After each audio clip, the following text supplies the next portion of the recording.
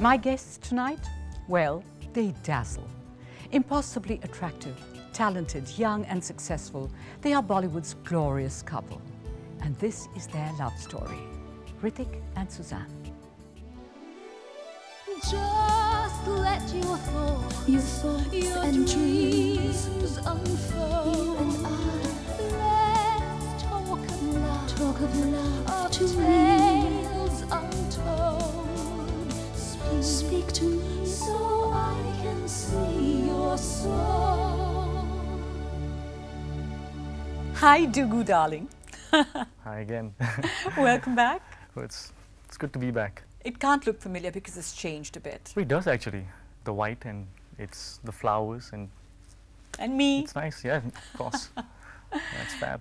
No, but that's what I want to ask you. Are you a different Hrithik from the one who was here five years ago? Not really, but of course, you know, a man evolves. You know, there are changes. Hmm. I've learned a lot. I've learned to accept a lot, a lot of me, um, and the way I am. So I'm less awkward now, hmm. and you know, more of myself.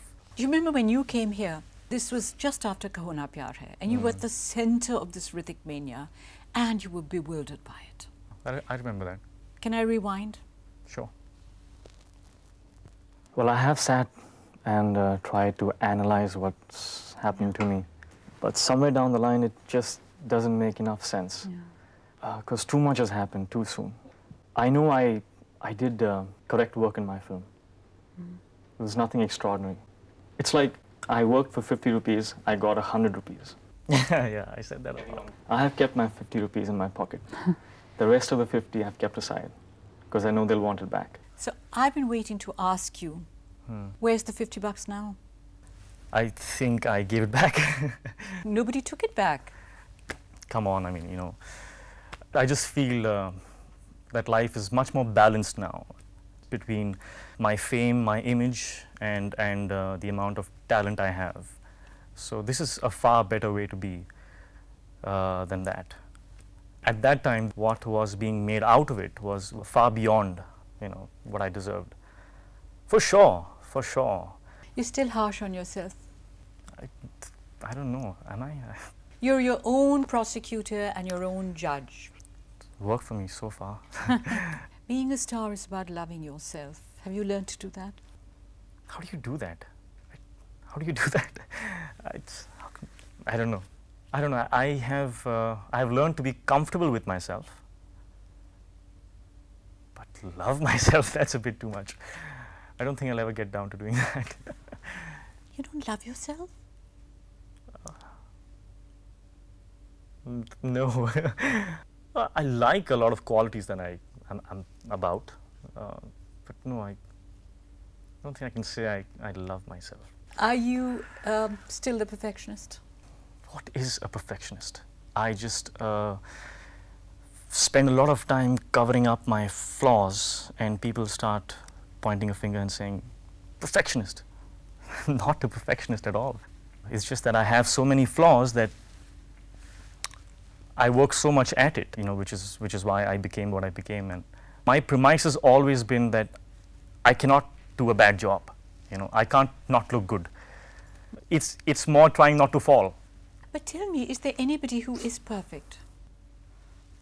anybody and uh, you know whoever says that that nobody's perfect uh, didn't get a chance to meet Sussanne, my wife. I think she's uh, she's perfect. Yes, yeah, I'm I'm far from it. Which I- is I better, uh, uh, Duggu? To be perfect or to be human? I think to be human is uh, the closest that you can get to being perfect. If you see a real apple and you see a perfect apple, Right, which one would you go for? the real one. The real one. Yeah, Who wants perfection? I think you're right. You're wonderful now the way you are. You're real. And that's what we want. Well, great. So, today is the job getting easier or harder? easier for sure. Until Koi Mil Gaya happened, there was this, uh, you know, conditioned uh, mindset of how a hero is supposed to be, and I was just trying to fit into that that mold. A stereotype. yeah, everything was always graphed and mapped. I knew my pauses, I knew what I was going to do, how I was going to look. I had a preconceived notion of everything. When I did Koi Mil Gaya, I was, you know, dude, what I was, what was I doing? That's not acting. You know, that was just, that was pretense. And for the first time, I just, I felt, I felt the true flight of an actor. You know, Duggu, you know, they say there are four seasons in an actor's life. The first is when he's promising, the second, when he's arrived, been there, the third, when he's finished, right, And the been there, and the fourth, and the fourth, when he's back. right, been there too. You've been through all of it in the last five years. Right. I remember uh, picking up this magazine which had my face on it and it said, finished. I was smiling from the inside. Why? I, well, I realized it was my face that was putting the bread on their tables for that month. So I could not be finished, you know. Yeah, and then your face wouldn't have been there. Yeah. Secondly, I work best when you say, he can't. I'm thankful because it gave me so much drive, it gave me so much determination. It's always been my, my philosophy that, you know, the finest steel must go through the hottest fire. So whenever the fire gets hotter, I know, you know, I'll just come out all the more finer. Yeah, but actor. normally actors are, are woundable, you know, and it can't not have hurt. Well, you know, I didn't believe them when they said phenomena. I didn't believe them when they, they said finished. Okay, tell me, what is the biggest lesson that you have learned about films and about this film industry which you did not know when you were starting out? A lot of things. Uh, I realized that you cannot please everyone. And uh, then I read this quote by Bill Cosby, and he says, There is no sure way to success, but one sure way to failure is trying to please everybody. So that is a lesson learned. And one of the strangest things about success, which I have learned in my life, hmm. is that you have this huge mountain and you, you have to get there. And you climb and you climb and you struggle and you climb and you finally get to the peak hoist that flag. And you look around and suddenly the peak has turned into flat ground again. Yeah, and what lies before you is another mountain with another peak. And then you go at it once more. So after a series of peaks and climbs you know you think i'm missing the point here. Mm. because uh, how long do i spend enjoying that peak? Two minutes? Not three minutes? And it, it dawns on you that it's about the climb. There are going to be a lot of peaks a lot of mountains. You just have to enjoy the process. You started doing that. more for the love of it Oh. than, than out of uh, fear of failing. So there is a different Duggu in front of me today. yeah. And a, and for, much for the better. I hope so Do you remember when you came here five years ago? Yes, You made a promise that you would be coming back with Sussanne.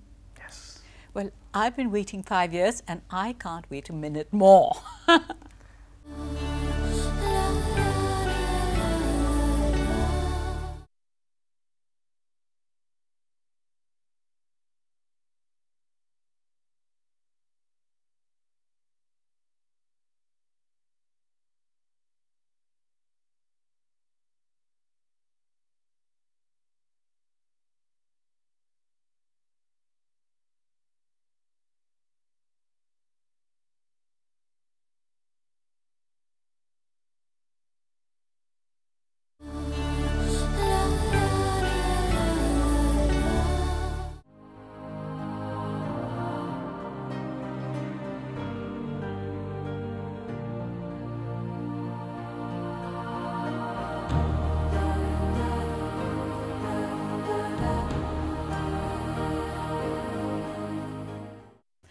Hi, Sussanne. Finally.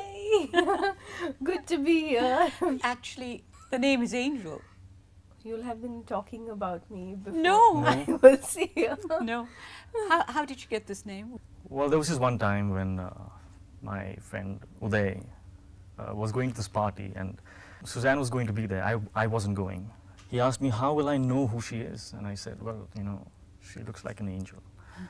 And uh, when, you, when you see her, when you see her, you will know. When he arrived there, he called me back and he said that uh, I didn't even take a second.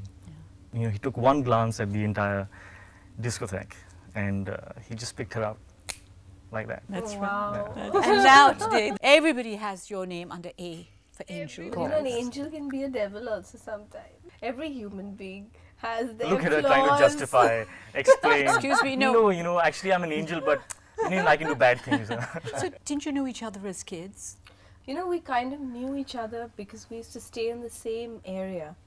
I remember we never really spoke or interacted, but we always used to notice.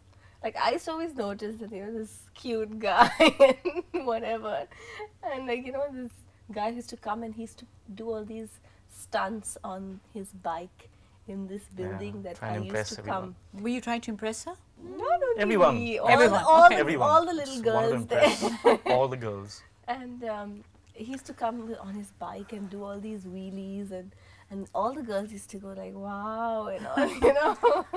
but he was very shy. It wasn't like he was doing it to show off. He was just doing it because I think it gave him a thrill. Yeah. And then he used to take off. It's not like he used to hang out and want praises. Okay. no, it was what, 11 or something, 10 or 11. A lot of my friends noticed me noticing her, and they started to tease me by singing that, that famous song, Susanna. and, uh, you know, that whole phase ended with that. I went my way, she went her way. She went to America. And then um, I saw her once at this party, This was at Sunaina's engagement. probably. And I said, uh, "You see that girl there? She's gonna be my, she's gonna be mine." I just, I, I just, I just said it. And, Damn, even that gives me goose flesh till today. I didn't. I had no clue. and then um, we met after she, she returned from her, whatever she was doing in America, the interiors thing. Whatever she was doing.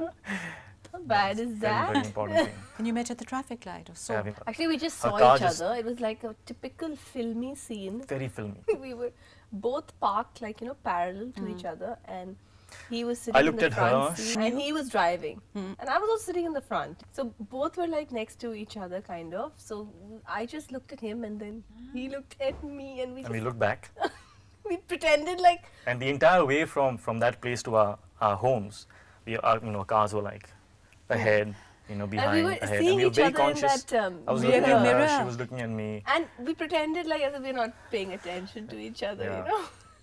and then we had this mutual friend of ours, Kunu, who's uh, also an Kunal, actor now. yeah. Kunal So Kapoor, and uh, he told me that, uh, hey, you met Sussanne. she Uh, told him Yeah, So it was Yeah. really strange because we both spoke to this common friend by chance. About each by other. chance about each other. So he was like, you know, oh, you know, she spoke about you as well. You know, why don't you call her up? And then he was shy to call me, let me tell you. And I told Kunal, why is he feeling so shy? Tell him to call me. I'm not going to call him. so anyway, then he called, I think. What did he say? He was just very um, awkward. He was- Awkward. yeah, you felt awkward calling me because Please. obviously. What You were, did you say? Flawed. No, but I, I immediately, I immediately made him feel comfortable. I think. Oh, fat. I. I get no credit. And I think from day one, we just connected. And you never had a girlfriend before. Well, I had did. dates. Not a girlfriend. Not serious, but you didn't have a girlfriend, girlfriend. I Yeah, guess. like four days, five days. That's it. Yeah, and then the girl was like, "Oh, I love you," and I was like, "Dude, you know, you gotta. This is not. You know, love doesn't happen this easily. You know, they used to put me off. Oh, interesting. Yeah, you know, people just used to fall in love with me. It's- Hmm. You know, Keep quiet. At that time, Duggu was completely unknown, wasn't he? yeah, he was like working with dad. In Koyla. And dad used She to think now. that he was a real useless because in those days he talked to me on the phone. ah, I remember that. yeah. yeah, How much you talk on the phone and all that. Yeah. you know? Really? People are working so hard and all. And you used to always be But on in the beginning, pay. God, it just occurred to me a strange time. Huh? Very strange. When did you go on your first date? 13th of Jan. Leela coffee shop. Dinner. No, you know it wasn't even. dinner. I was- I was too shy to eat. Evening. So I couldn't He eat didn't anything. eat. He didn't eat because he Was too shy? he- he was awkward to eat, and I She, ate she paid the bill. Why did you pay the because I had started working. I, I thought it was quite cool. And I had started could pay the working, and so I said, So, that, "Come on, let me pay the bill this time." But he was only earning 700 rupees a month anyway. Not even. He had not started earning. So it was in that. difficult for him. and he was very impressed because he could not believe that Yeah, that this was one of the girl things is that actually attracted me to her a lot. That she was working. because she was this beautiful, very young girl who was earning her own money. I thought that was great. So how how could you then after that afford to court her in that sense? I didn't need to. I didn't need to. She was just. We used to just take these drives. We never really Went had these expensive dinners and our. As I said, you know, it just took a second. She was. What rubbish! You It have. was- you have. It was you've, just very. You've told me that you went home and you lay down on the bed and you looked up at the ceiling and said, "Ah, I found my dream man." you still in that? I Are knew in my mind. Why are you lying? Yeah, no, I knew in my mind that I was totally like, I knew that this is the guy I wanted to spend the rest of my life with. And let's see. I have that about me. You know, just Oh, stop it. Shut up No, Stop it. Stunning. Didn't he write you lots of poems? He was a poem, a poet in the making. I'm not joking. He was better than any of these. don't go there. uh, Not a Khalil poet in the making, Gibran Sussanne. and all those people who put to shame how many poet poems he's written me Oh, God, this to me. I swear to God, He writes they were beautifully. outstanding. These poems. He writes beautifully. Sussanne, please don't say such I words. swear You've to not God. read poetry. He was only 21. I and wasn't, The, and the, po- the poems that he had written were like, as if, you know, he's lived his whole life and, you know, gone through a lot of. Oh, please don't. Because he, he lives his life inside. He He's very thinks deep. Very deep. Yeah. Poetry is very personal. Do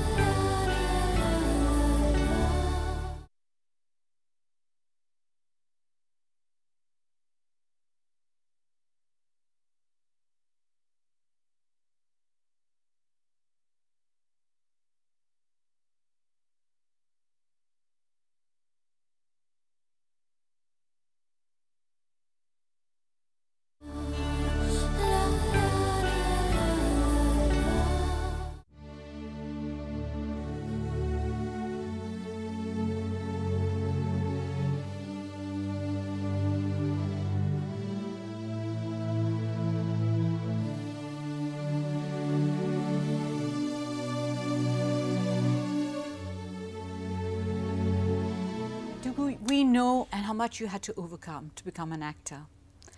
In what way was Sussanne part of that struggle? Let's just say that if she wasn't there in my life, I would not have become an actor. Why? She just had this uh, faith that I lacked. She could see something that I could not. And I was almost contemplating giving it up. There were so many little, little failures that I was going through at that time and I was struggling um, that I just come home and give up. I said, you know, maybe not. Maybe there's something else. And she was like, no, I just know it. I know you have it in you. You know, you just, just go. She almost blindfolded me and pushed me in front of the camera. I think he's a little bit giving me too much credit for something. But honestly, I just knew that what I saw in his eyes whenever I used to see him, that everybody else in the world had to see that. So I had this thing that used to tell me that let him know that. But I, I didn't have anything to do with his struggle. It was all his single-handed thing. Maybe, maybe. I, or I, I firmly believe, I think that if, if I didn't have that influence, I might have just gone another way.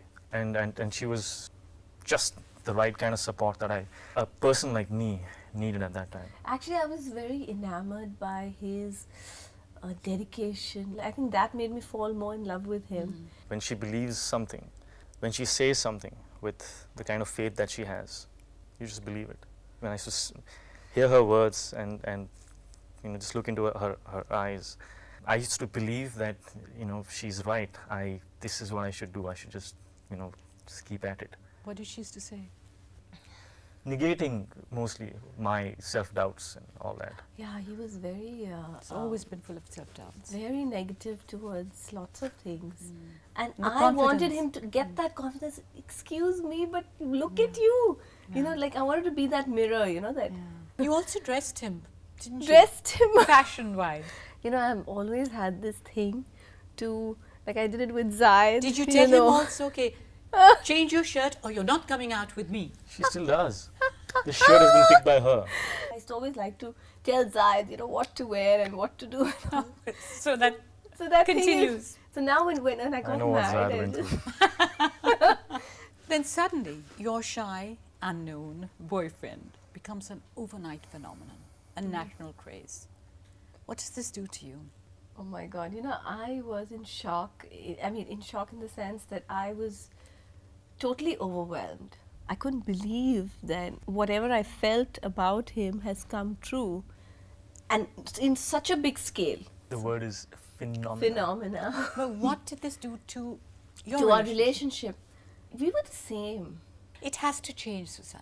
No, I'll tell you what changed the time that we didn't have enough time to just hang out and you know you know so that yeah that, That went. but mm-hmm. you know so he made the effort to see me each day there wasn't one day that we were in bombay That he and didn't. he didn't meet me hmm. so it's not like he was like in his own world But what happens to the equation when suddenly a person who's just yours, your own private becomes like the whole world. Every woman wants him. He's desirable to everybody. but i loved that why? because it was the biggest high.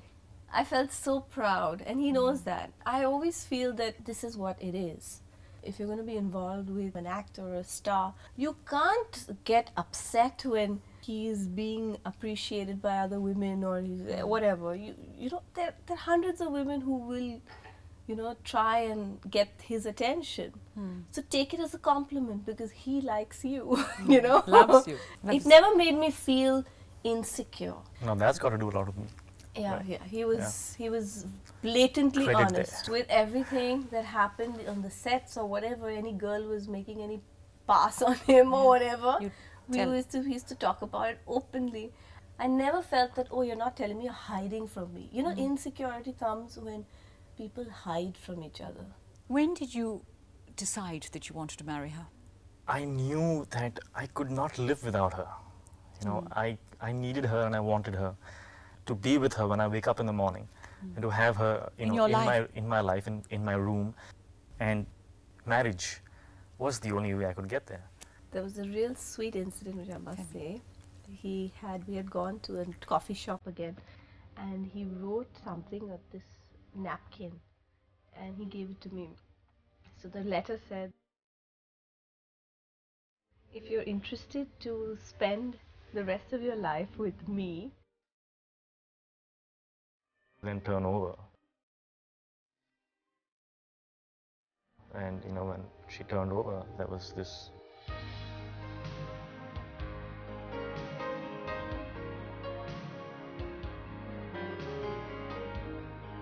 if you you know live your life with me, I'll give you all of that. it was so beautiful.